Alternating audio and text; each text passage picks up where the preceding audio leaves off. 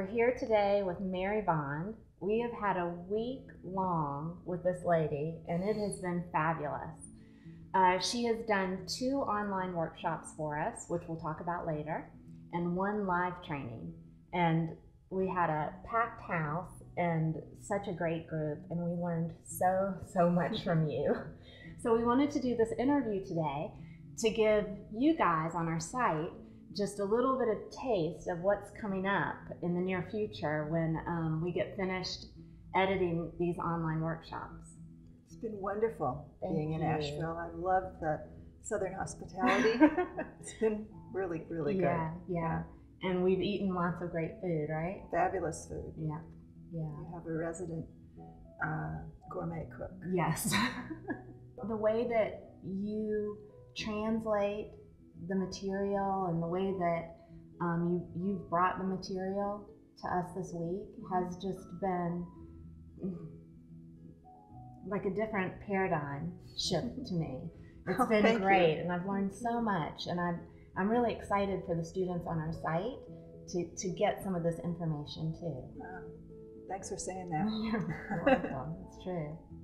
Well, let's see where I'll start. Uh, I got a master's degree in dance many decades ago. and just as I was about to accept um, uh, to be on the faculty at the University of Maryland, I met Ida Rolf, who um, is the founder of Structural Integration. Lots of people call it Rolfing, kind of a nickname. And that was a huge blessing for me. Uh, I watched her give a demonstration, and I just I, I had received this body work on my my own body, but I didn't understand that it had a a theory behind it and b a philosophy underlying it. So it really um, was wonderful to hear her speak about her work and her vision. so that motivated me to become a Rolfer. And um, in the beginning, I don't think I was much good. because really, I was a mover, not a toucher. But I learned to touch over time. And then what happened? I there was a some family intervened for about 10 years and I just forgot all about everything. And when I came back to doing the work, Ida Rolf had passed away and the work had been continued and enhanced and deepened by some of her senior students. So I was able to retrain with them, which was wonderful. And then uh, I took a movement training. Many people don't understand that Rolfing has a whole movement education aspect to it. Yes, I remember you talking about this, and I, I didn't realize Yeah. that either. Right. Yeah. I mean, what we're trying to do is not just organize structure, but um, restore efficient movement in the joints and in the whole fascial system. And um, so there was sort of movement exercises that Ida Rolf had, had passed on to the students, you know, the Mhm. her followers, and we had made kind of a program out of it. Um, and I studied that, and in in my process, I'm a writer. I think in my next life, um, my process was to write down what I had learned in this movement training. So that was the basis of my first book, which is called Balancing Your Body. And then I met a genius who is a, a man named Hubert Godard. He's a movement theorist from France, and he brought a whole new way of understanding movement to the Rolf Institute and to what we do. And it was just, for me, incredibly profound and life changing. You know, to understand that posture and movement is primarily perceptually based. That it's not all about muscles and fascia, even. Mm. You know, it's about where you think you are in the moment. And so his way of working is to um, which has become my way as well, is to find, figure out what are the missing perceptions for someone? What is keeping them from assuming their natural inheritance? Because we are, we have everything perfect for this human body, and what we do is clutter it up with tensions. Mm-hmm. And one way of looking at tensions is that they are um, missing sense of weight in the body. So, or a missing sense of spaciousness. So, how could I restore spaciousness to the place where it's compressed? Or how could I bring yielding into the place where it's held up? Okay, so, rather than working so much with hands on tissue, I work with uh, the nervous system. Have you always worked that way? No, no, no, no. Okay. Just just really um, since studying with this man, which we started in early 90s. And, you know, I haven't been steady at this. I've sort of dropped off uh, working with him and because I've been busy writing a book and making a DVD. I know his work has gone on and grown. Um, but I, get, I guess for me, I felt like what I had learned from Hubert was so mm, so precious mm. that we shouldn't be precious about it. Okay, so the Rolf Institute um, shouldn't be the only container for this information. Okay, and of course, Hubert does go around and teach many other populations, mm-hmm. but I felt like the general public needed access to some of these ideas and some of these explorations and ways of um, ways of looking at your body, not as a machine that's out of out of alignment, you know, but as an organism that um, needs more care. That's one thing that I loved about your book, the the new rules of posture, is that you you give these seemingly simple exercises that are functional things that we're doing all the time. And so I felt like I could read a couple of paragraphs and get this idea or this sense and kind of think about it all day long mm-hmm. with things that I was doing. Mm-hmm. It's like you don't have to make an appointment for it, right? And you can keep sort of trying to embody that throughout mm-hmm. the day. That's which great. Which is exactly what I, I was hoping people would do, mm-hmm. you know, so that people who get the book out of the library could get some some insight, you know, because people are very disempowered about their bodies in our culture. You know, we, we, we think you have to take it to some sort of expert, you know, yeah. to get fixed. And um, I think really our bodies need to be understood. And, and I just personally am very biased about this way of understanding, the way it's organized. Mm-hmm. And so that's what I like to share, you know, with whatever community will have me go there and do my do my song and dance. And how have you seen the when you go into uh, Pilates teacher trainings or yoga trainings or what have you? How does your work help? I, I know the answer to this question, but I'm wondering since you've done so many, how does this work translate and help for example, Pilates teachers bring the work more fully to their clients? I think we all have blind spots mm-hmm. about our own body, our own organization, our own movement. Mm-hmm. And um, the recent uh, neuroscience research talks about mirror neurons. You've read about this.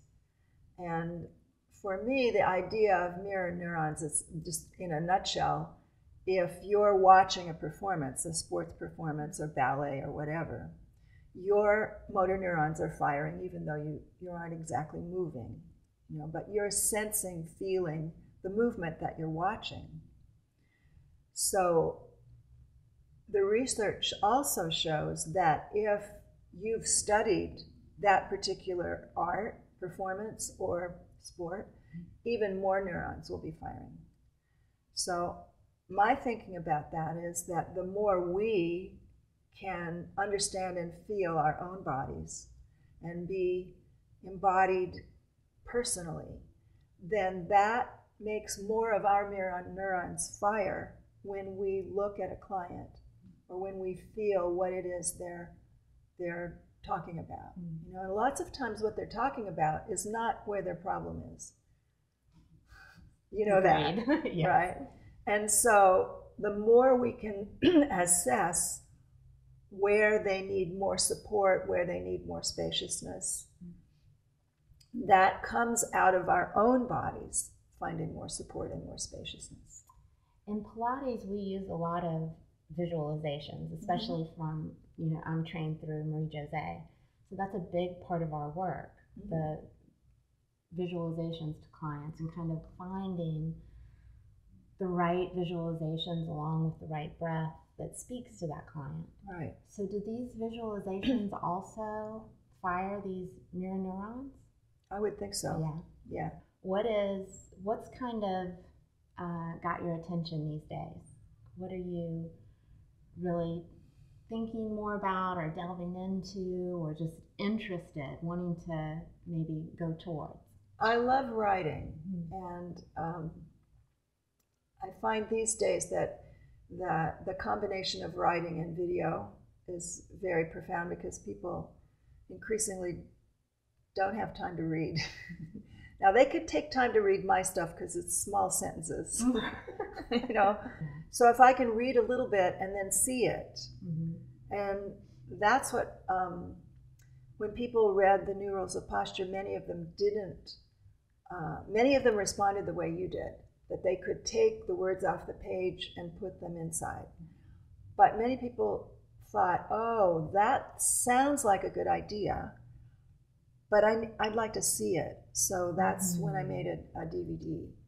Because we're all different types of learners. We, exactly, exactly. Yeah. So if there would be a way to write a book, another book mm-hmm. that would would be an ebook that would combine both the written word and little snippets of video example, I think that would be kind of cool. You know, I also think all of your work, along with the you know the scientific research about the mirror neurons, and this feeds into our interoceptive mm-hmm. ability too, right? That, Absolutely. And that all the research that's gone on that that really helps us in the aging process mm-hmm. if we have higher interoceptive skills helps us exactly post-traumatic stress helps us with irritable bowel syndrome depression anxiety mm-hmm. so it seems like our culture really needs this this way of teaching?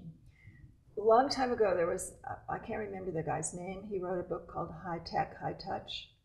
It was like 30 years ago, oh. and he was seeing where the world was going in terms of where we are now, where yeah. everybody's going oh. like this all the time. You know, so we're disembodied because the minute you you focus so tightly, you're married to that screen, whatever it is and so what his what his idea was um, was that people will need more massage, more body work, more touch in order to counterbalance what he saw was going to happen, right? And so I think in a way what you're saying is the same thing is that the kind of teaching you and I are doing is not necessarily about physical touch, but it's about touching, getting the person to touch themselves inside.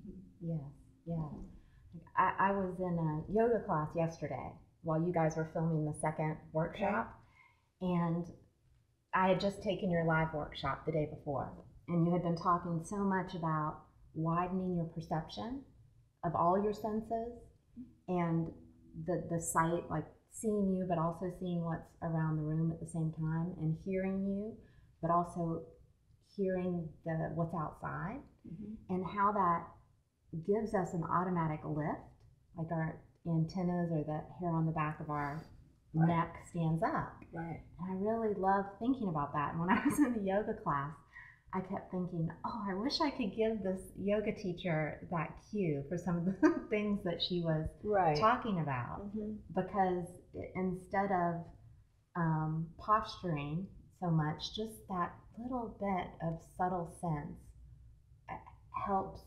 everything fill out. Exactly. That yeah. it, it affects the coordination of the whole system.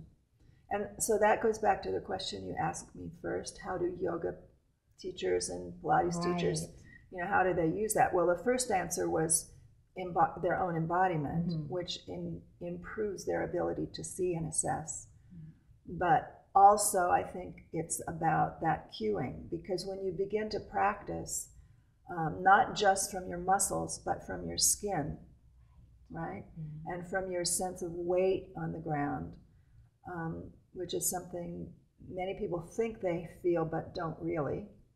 okay? Mm-hmm. So, but once you begin to embody it and then practice it, then the words that come out of your mouth when you're teaching it are going to imbue that into the other person.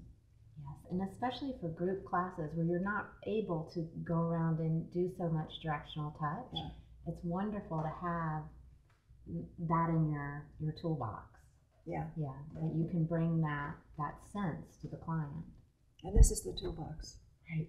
Right, right. what do you think about this craze of fascia right now? Because that's sort of what everyone's talking about in the fitness world because there's been so much research mm-hmm. about it. Well, I think Robert Schleip, mm-hmm. who's kind of been the main person, he's the. Rolfer, you know. Yeah. Yeah, and so Ida Rolf actually put fascia on the map. Mm-hmm. Ida Rolf had two ideas. One was that the body structure was affected by gravity. And this was kind of like, really? but it's so obvious the minute you think about it, but we don't think of ourselves as architecture. It just, we're moving organic architecture, but mm-hmm. we're still affected by the planet. Mm-hmm. So that was her one idea. And the other idea was that fascia was the organ of structure. And that it fascia is everywhere and it penetrates to the cellular level. So, how can it not be important? How can it be the stuff that the anatomists take off and throw in a bucket so they could get to the muscles and the good stuff, right? So, she saw that fascia was important. She also saw that when there are tensions that pull the body out of alignment, then the fascia has to be what is hardening and thickening, not the muscles. The muscles are not that smart, you know, so they need they need um, the fascia. So let's say you're holding your phone up to your ear, which please don't do. So after a while, that becomes a habitual tension in that shoulder. Well, it would be really inefficient for those muscles to keep firing all the time, to keep the shoulder up there. So what happens is the fascia that interpenetrates and wraps the muscles involved just becomes stickier and thicker and tighter and shorter. So, what Ida saw was you could apply pressure, slow, continuous pressure, and her idea was that it would sort of melt the fascia. We don't really know, okay? But I think it's from that idea that the the bodywork fascia people have been able to connect with the academic fascia people, right? And then they did the first um, fascial conference in Boston in 2005, I think, or six. I was there. So not too long ago. Not too long ago. So it's only recently that Ida Rolf's brainstorm has now become big news. Okay, and so what Robert has been studying, and he went back to school and got his PhD and really did all kinds of, has done all kinds of research, is that the way we exercise affects the state of the fascia. So that's that is news, you know, so that no longer do we, you know, pump iron in the same way, because that that hardens and stiffens the fascia more. We need we need we need to dance more. Really, is what I think. You know, because it's he's shown that it, this sort of bouncy re- rebounding is what's good for the fascia. So, yes, we need to move like gazelles, but we do that on the dance floor. Mm. Yeah. So, um, and, and I think dancing is normal. You know, I think I, I use it in my classes. I make my students, some of them really don't like it, but I make them do these improvisations because I think, you know, uh, centuries ago, that was our form of worship. It's very deep that we should move in order to express our appreciation for being alive. Yes, and that springiness as And we're mhm. children is just Exactly. don't even think about it. Right. And so, you know, really sad that we're sitting in chairs. It's not normal No, to be sitting. we need more floor postures and Floor postures so that we have to get up and down. That's what Philip Beach was talking about. right, right. And I guess in, in walking, also, if we do it optimally, it's that same kind of springiness Mhm. that we have in the walk, the our gait, our run. Right, exactly. But you see, unless you have perception of the space, Exactly. you're not going to be springing in a way that's truly beneficial. You can spring and it can be still just um, an event that you're making happen in your body because you think it's a good idea. Right. Okay? But if you spring because you're joyful or because you feel the kiss of raindrops on your skin, that's a different spring. Yes. This is a good point. We can't just start hopping around because our body isn't ready for it just yet. We have to do things to kickstart it, like put on music that in- inspires us and feel the way that our body does want to start to move, to start to fire that system up again. Mm-hmm. Yeah. We can't just go run a marathon because Oh, that's when we get in trouble. Right. Yeah. And so much of that marathon running is um, mentally in the sagittal plane. Do you know what I mean? It's just like Mhm. there's so much intensity of getting to where you're going. And whenever you um, confine your vision, whether it's actual physical vision Mhm. or your inner vision, to one pointedness like that, the body will compress. You've lost space, you've lost global awareness. Is that a survival mode? I'm to sure. do that? I'm Yeah, sure. Right. But the thing is, then we stay there. Mm. We get entrained into that way of being and we stay there. And then we go and have to have body work. Tell us what about your workshops that you filmed here. What were the the names and and how did it go? Oh, it was wonderful. your your husband is the most generous, patient filmmaker. It's, and I, I have no worries about it all coming together. The first one was about um, was it was about spatial organization, but it was also about about the general theory of space and ground, um, and also about specific places in the body where we tend to shut that down. And that workshop was about tensions in the face Oh. and jaw and throat, and how that area can be, be like a lid that prevents the midline from expressing its true length and, and resilience. So um, that was the first workshop, and the reason I chose that topic for a Pilates um, audience, uh, and I've also taught that workshop live.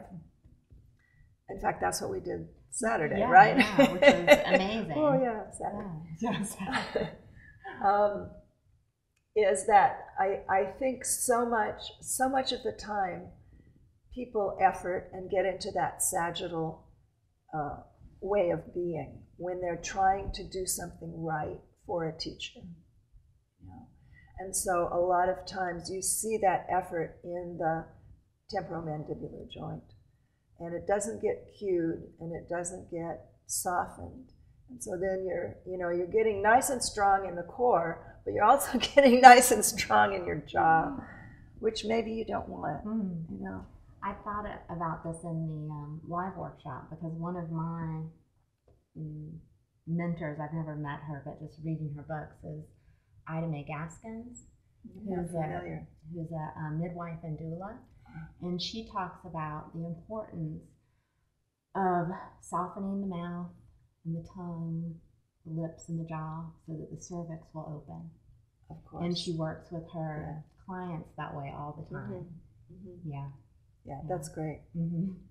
So the other the other workshop was about um, restoring our ability to yield to the ground, to allow ourselves to be supported by the ground, which we think we're doing, but many of us are actually compensating by tensions elsewhere for the support that we have available. We just have forgotten how to access it. So that's what that workshop was about that, and also about a few specific places in the body that if you can kind of trick them into feeling more weight, um, then that will change the coordination of gait. Mm-hmm. And uh, so that's that was the content. Great. So in the, that second one, we'll see some gait training. Uh, not so much. Actually, I did more walking in the first one. Okay. So in the first right. one, you'll see people walking, and in the second one, I thought um, it would be interesting because one of my um, goals always is to make a transition between the studio and, and the life. Mm-hmm. Okay, so what is this exercise that you do on the reformer? You know, what good is it unless you can apply what you felt there in relationship to the ground? And then can you apply what you feel in your daily activity? So Casey, my volunteer in that second workshop, um, her daily activity is messing with the equipment, right? Having to change the springs and adjust the equipment. So we worked with how she could do that while feeling her weight. Oh, great. That's going to be really helpful Yeah. to this audience. I think so. Well, Mary, this has been so much fun My talking pleasure. to you. Pleasure. I'm My going to miss you. I'll so miss you too. Yeah. And your beautiful daughters Thank you. and this Thank- guy. Thank you so much. Um, You're so welcome. yeah. Thank you. So by the time you've seen this, Mary's online videos are probably out, so check those out. Also, look below for information on how to contact Mary, how to find out about her blog, how to find out about her fabulous book, New Rules for Posture, and her DVD. We'll see you soon.